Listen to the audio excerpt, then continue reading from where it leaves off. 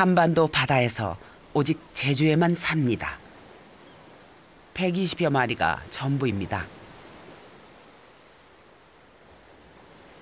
이들은 가만히 있을 데가 없죠.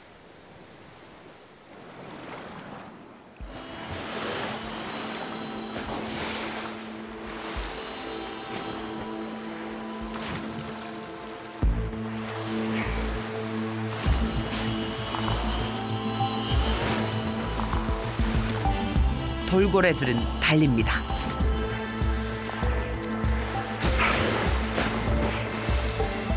섬 둘레를 돕니다.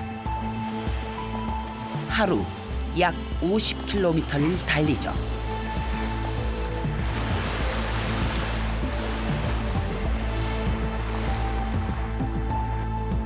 날씨가 좋지 않아도 달립니다.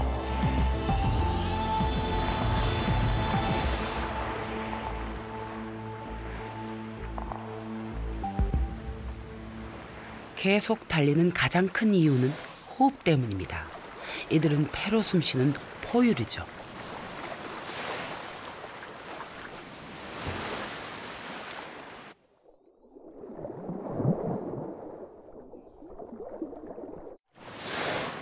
잘 때도 숨을 쉬어야 합니다.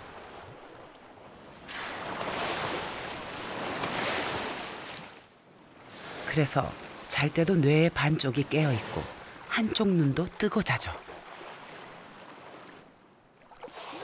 그런데 눈을 뜨는 쪽은 보통 물이 바깥쪽이 아니라 무리 쪽입니다.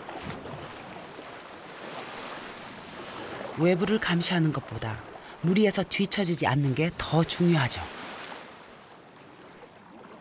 돌고래는 등 지느러미로 알아봅니다. 모두 다른 모양과 무늬가 있죠.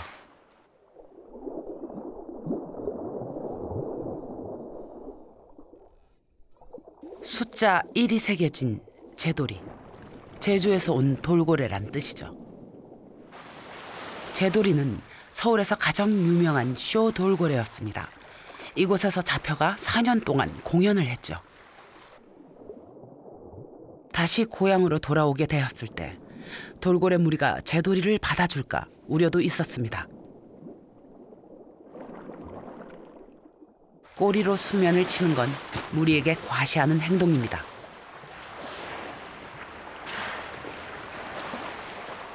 제돌이 역시 이런 과감한 행동을 할 정도로 무리의 일원이 됐죠.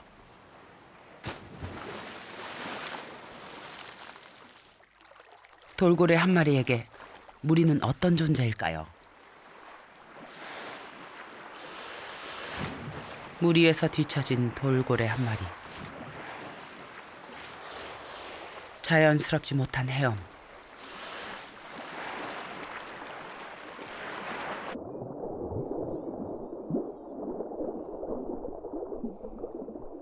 꼬리가 잘린 돌고래 오래입니다.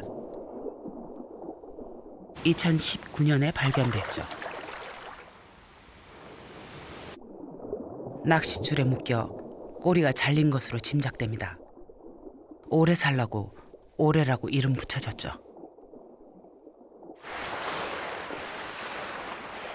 오래는 절룩거리며 무리를 쫓아갑니다.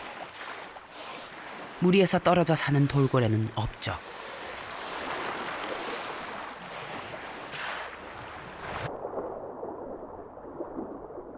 제돌이와 오래. 사실 인간이 붙인 이름을 가진 돌고래는 몇 마리 되지 않습니다.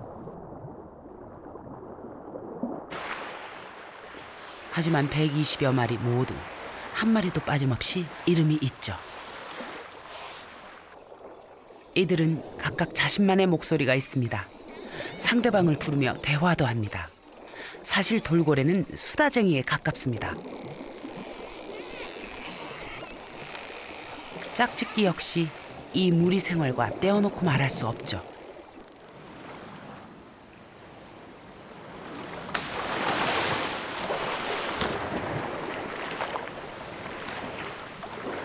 짝짓기 행동은 멀리서도 보일 정도로 소란스럽습니다.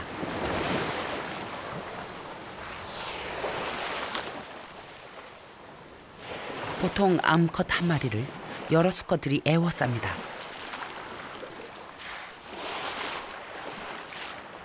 하지만 암컷도 수컷만큼 빠르죠.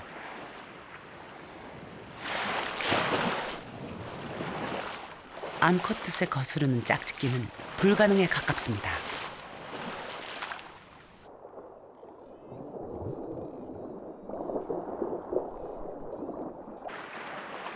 게다가 암컷에게 마음이 있다 해도 3차원 물 속에서의 자세 잡기는 어렵습니다.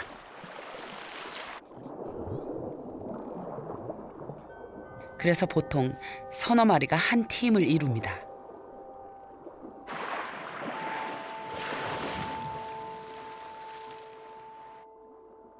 암컷이 쉽게 자세를 잡을 수 있도록 수컷들이 서로 도와주고 함께 짝짓기를 하는 거죠.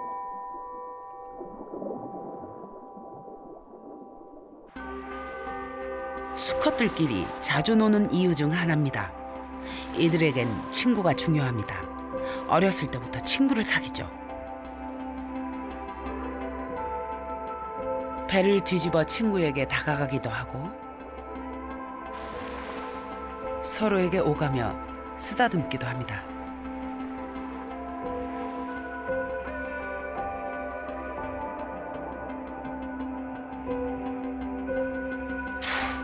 그리고 함께 짝짓기 연습을 합니다. 가끔 올해도 암컷 역할을 맡아 다른 수컷들과 연습을 하죠. 그리고 대부분은 단순한 연습에서 끝나지 않습니다.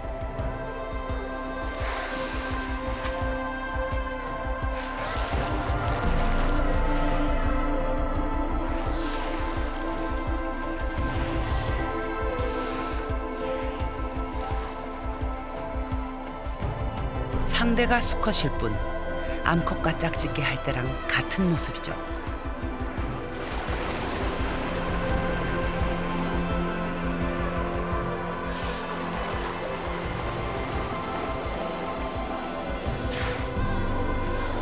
수컷들끼리의 짝짓기 행동은 암컷과의 짝짓기 행동만큼이나 자주 일어납니다.